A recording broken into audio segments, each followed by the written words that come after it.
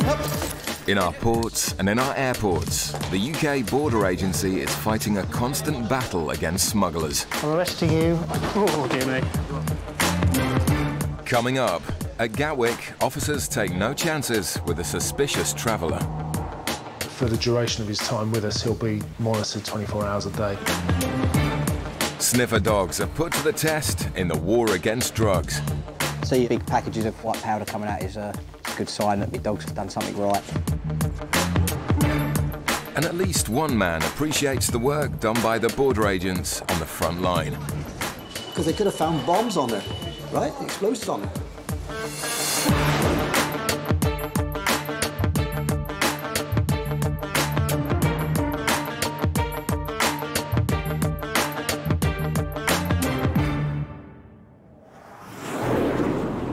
Gatwick Airport, a flight has just come in from Port of Spain in Trinidad and Tobago.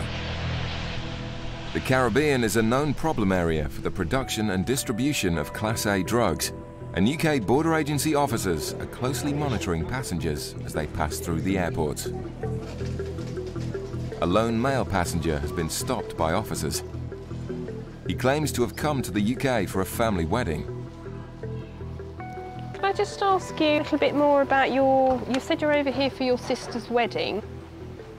Yeah? on vacation, but she told Yeah. me she's getting married, so you know I will attend at the same time. All right, so you had initially planned to come over here for a vacation, and then you found out your sister was getting married. Is there any other family coming from Trinidad for your sister's wedding? My mother, my mother's supposed to come up And when is she arriving in the UK? Do you know? Friday. Friday. Do you know which airport she's coming into? This airport. She's coming into this What airport. is the name of this airport again? This, the name of this airport.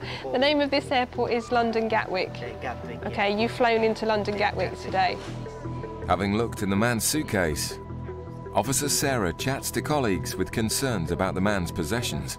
The clothing, it's all manner of sizes, ranging from medium through to double XL. They're quite new bags. The shoes are not the same size. There's nothing in there that I would expect somebody to wear to a wedding. Officers working in immigration have already called a phone number the man has provided for his sister. The sister apparently has made no mention to the immigration officer of the wedding. With too many holes in the man's story and with reason to doubt the purpose of his visit to the UK, Sarah is granted permission to conduct a search of the passenger. There are some things that I'm not satisfied with um, that you've told me in terms of your reasons for coming over to the UK. Um, so for that reason, okay, um, I've had authorisation to do a rub down search on you. It's going to be some of the male officers that will do the search on you. Okay, they're going to take you into a room away from the channels here, and but they'll explain to you exactly what they're going to do when they get into the room. Okay, because I want to make sure that you don't have anything with you that you shouldn't be bringing into the country. The man is led away as concerns grow that he may be a drug smuggler.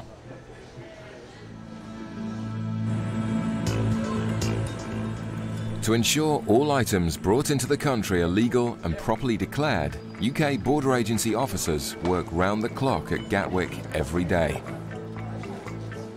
In addition, an elite group of sniffer dogs who are trained solely in the detection of illegal drugs also patrol daily.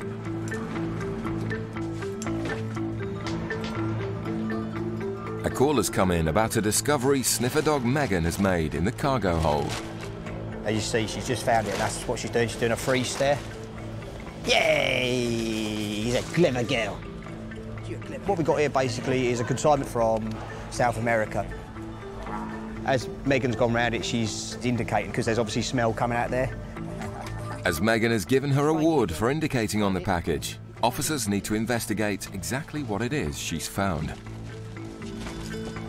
It certainly feels like it's some sort of books, uh, probably sort of heavyweight books, which we've seen in the past with um, the pages actually sort of taken out the, the centres of the books and drugs concealed inside. Though officers are confident drugs are present, they must wait for permission to examine the contents. In the meantime, they rebag the packages so they can be used as a training aid for other sniffer dogs. It's what we've done now, we've brought our other dogs over so we can get them live rewarded. It's probably the best training we can do is in situ with live gear. So hopefully all our dogs will come in, get rewarded on the scent, and then it just improves their abilities for later on. The introduction of sniffer dogs to the cargo hold has been extremely successful, allowing packages to be assessed in a fraction of the time. On a daily basis, we get sort of five, six tons of parcels and mail come through. So the dogs will be able to sort of do that within half hour. To do it manually, you're talking hours and hours to actually manually go through each item of mail. On this test, all three dogs successfully indicate on the packages, but officers will need to wait to see if there are drugs inside.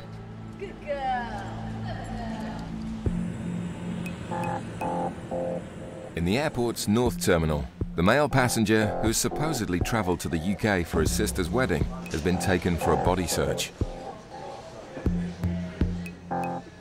His demeanour didn't seem right when I was talking to him at the gate. He said that basically his sister has paid half the ticket to come over here and half of the hotel booking fee. However, immigration have spoken to his sister and she said, no, I've not given him any money for the um, ticket, um, but I am going to be paying half the hotel fee.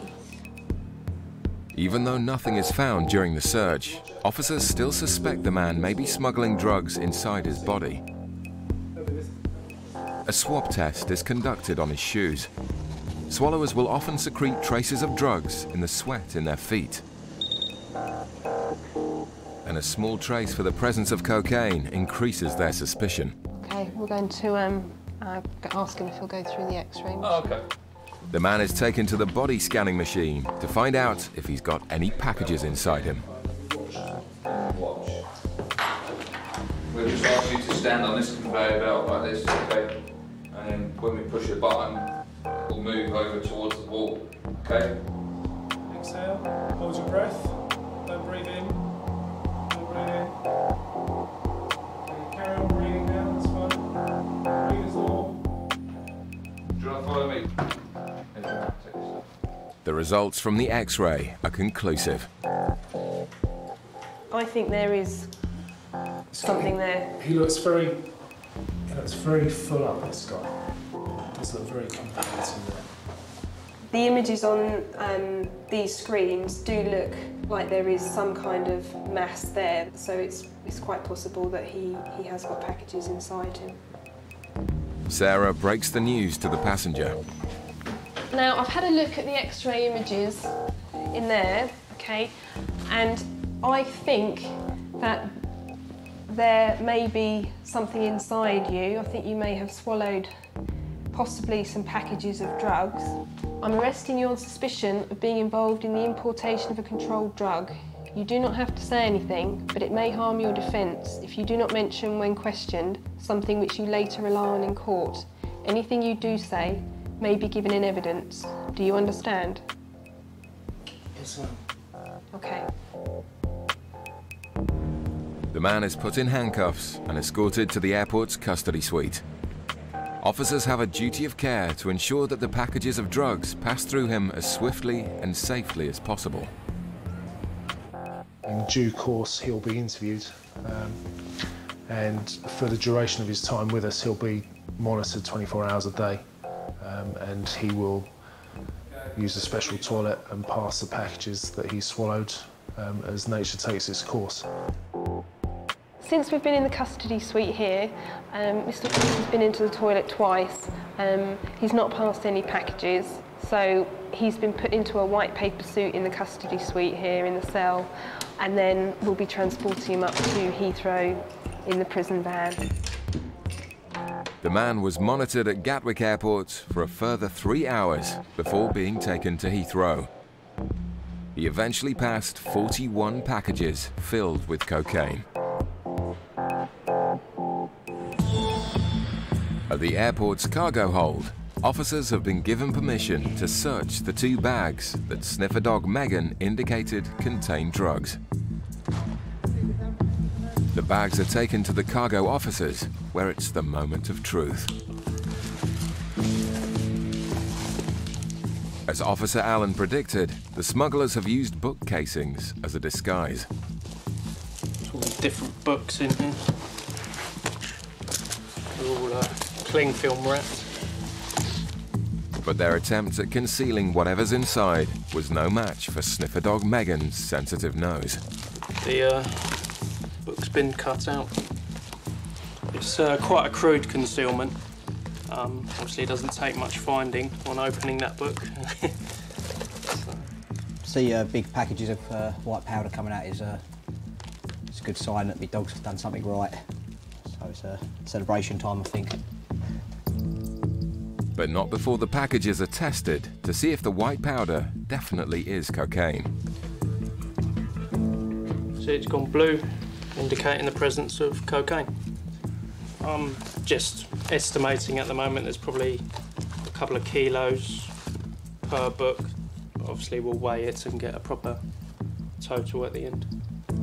It's a massive seizure, weighing in at over 20 kilograms and has a street value in the region of a million pounds.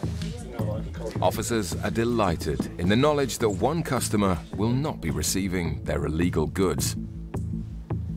It's turned out to be a good result today, so uh, well chuffed. Coming up, Officer Hazel deals with two deceitful travellers with some long stories. You told me that she bought them on different days, and now you're changing what you're telling me. You can't expect me to believe you now.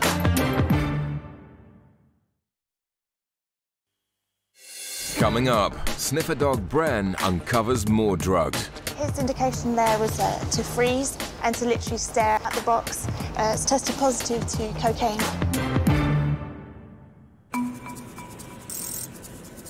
At Gatwick Airport, border agency officers are paying close attention to holidaymakers returning from Montego Bay in Jamaica. Passengers are being observed as they pass through immigration, and Officer Lorinda's attention is drawn to a white-haired male who sat on a passenger transporter. She follows him down to the luggage reclaim area and waits to intercept him as he passes through the green Nothing to Declare channel. Hello there, sir. Are you travelling on your own today? Okay, can I see your passport and your tickets, please? The man says he's been working out in Jamaica for the past 10 months and has travelled back to the UK for medical treatment. You're fully aware it's illegal to import into the UK drugs, firearms and decent obscene material? Yep, okay, super. Oh, I don't take drugs anyway, so. Just need to check that you understand it's illegal No, to bring them in anyway. I'm doing this one. Okay, right, just bear with me, I'll have a look through that in a second. All right. Lorinda opens the man's suitcase to search for any illicit materials, and straight away she makes an unusual discovery. Why have you got one inside one? Well, because when I come back. So you're going to fill it up whilst, whilst you're here? What kind of things are you going to be buying then? Oh, nothing really. Sometimes some tool stuff. Right. You put that one back in your bag so it's safe.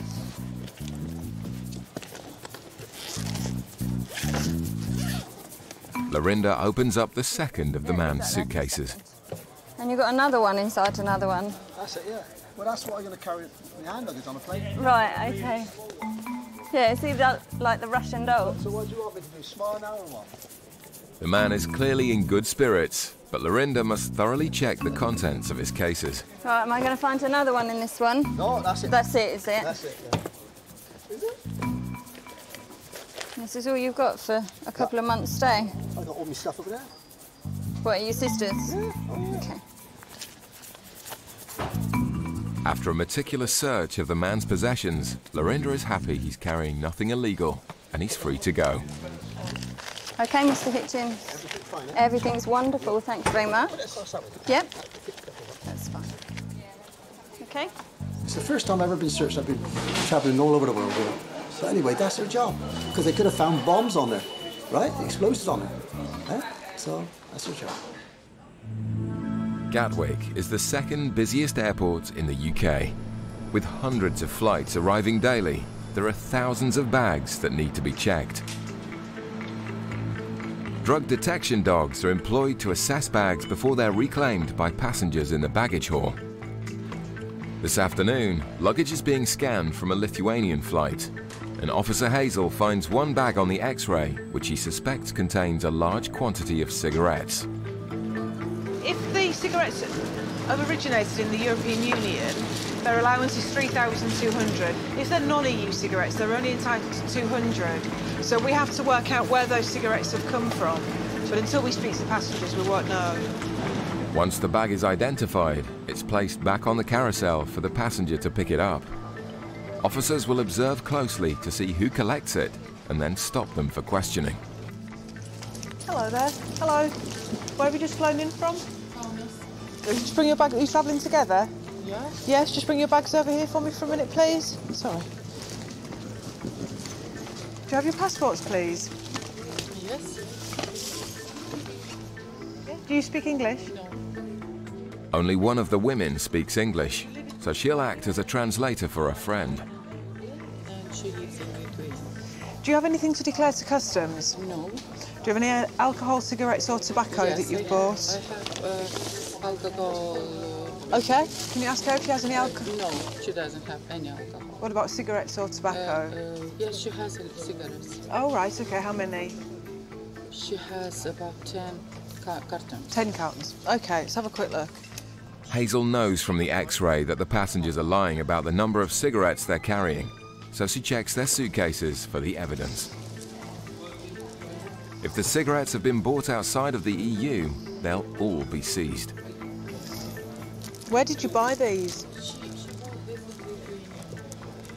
In Lithuania?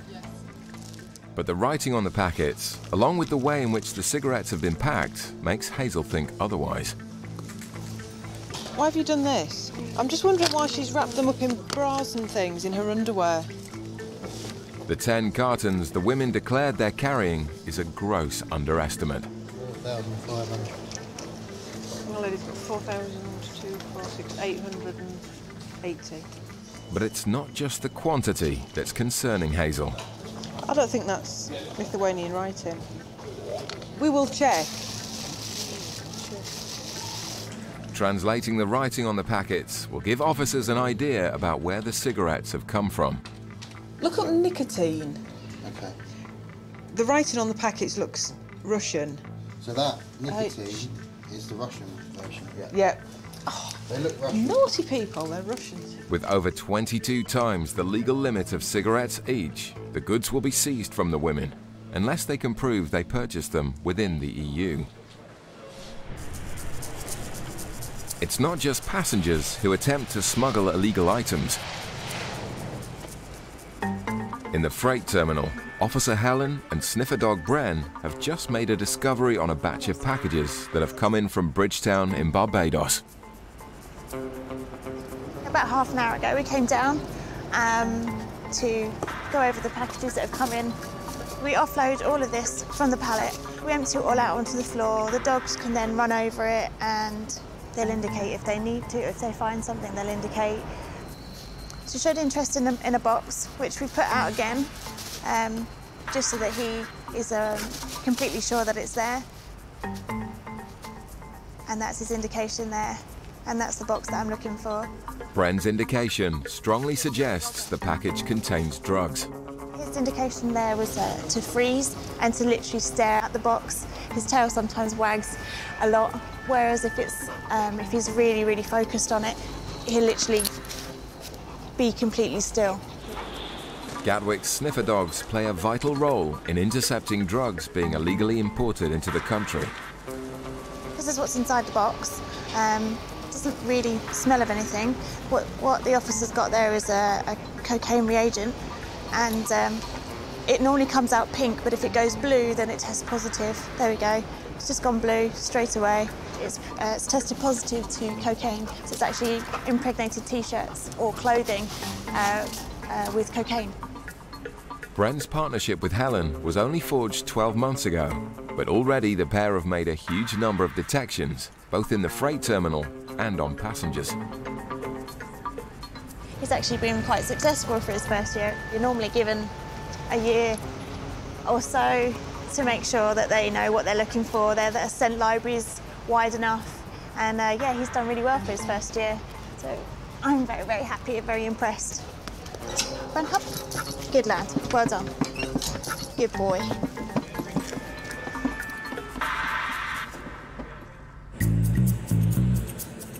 Back in the airport's south terminal, Officer Hazel is still questioning the Lithuanian women who have both been found with 22 times their legal limit of cigarettes. These are Russian cigarettes. That means that you're only entitled to bring in 200 of them. But we bought them in Lithuania. Sorry. You don't have the receipt though. I understand, but I didn't know that I, I, I, I, do have. I, I need to have receipt. So how much did you pay for all these? Oh, you mean carton or that? Well, for all of them, if you bought them all at the same time, you'd know how much you'd spend. No, we didn't buy the, for sa- the same time. You see, if you don't have the money to buy them all at once, that suggests to me that you're bringing them here to sell them to make money. No, no, she didn't. Well, that, that's how it comes across to us as customs officers. So here you've got 4,800. How long will that take us to get through those? few, few months. But Hazel has spotted something else that adds more doubt to the story. The number on the side here is exactly the same on all of these. On all of them. That would lead me to believe that you bought them all at the same time and that you bought them all in the same place. Four thousand. One, two, Oh, three, so four. now she's bought them all at the same time, has she? Oh, so now you're changing your story. I didn't, I didn't have any story, okay? You told me that she bought them on different days, and now you've just spoken to her again, and now you're changing what you're telling me. You can't expect me to believe you now. Because of the things you've told me and the things that we found out, we are seizing the cigarettes from you, okay? Seizing yours from you, seize your cigarettes from you. We believe that you're bringing them here to, to sell. If you can provide me with the paperwork that proves that you bought them in Lithuania and that they're tax paid, that's a different matter. tell you, I don't have anybody in Lithuania who still have my receipts, okay? Do. The threat of losing her cigarettes is making the woman argumentative. But saying that I, I can bring 3,200. That's if you bring them in from a European Union country and that's where those cigarettes have originated from. These But haven't. These are Russian cigarettes. But we bought them in Lithuania, okay? But you need to prove that to me. Personally, I think they're probably here to sell them.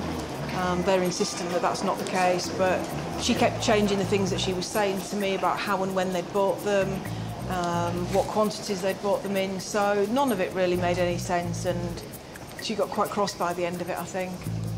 It's the way it goes. They're seized, so if she wants to complain, she can do. The man who attempted to bring cocaine into the UK by swallowing 41 packages pleaded guilty and was sentenced to six years in prison.